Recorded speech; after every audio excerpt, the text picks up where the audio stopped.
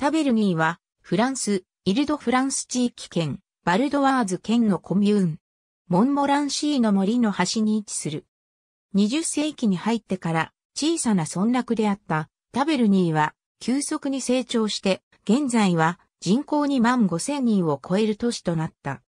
フランス空軍の第921タベルニー空軍基地がある。フランス軍の各抑止力部隊の中心は森の中の旧石切城内にあったが、現在は廃止されている。パリの北西、約 20km 地点にある。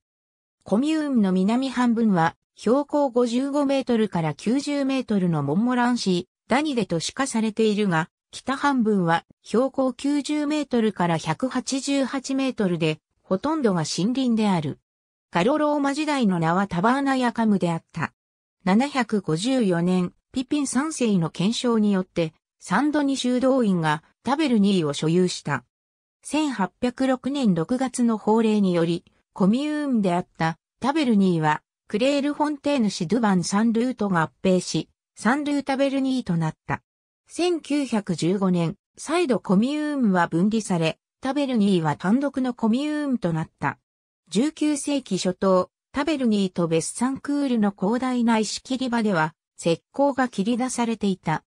鉄道駅に近接するという好条件のため、第二次世界大戦中にドイツに占領された時代には、ドイツ空軍の基地内に石切り場が設けられ弾薬製造に利用されていた。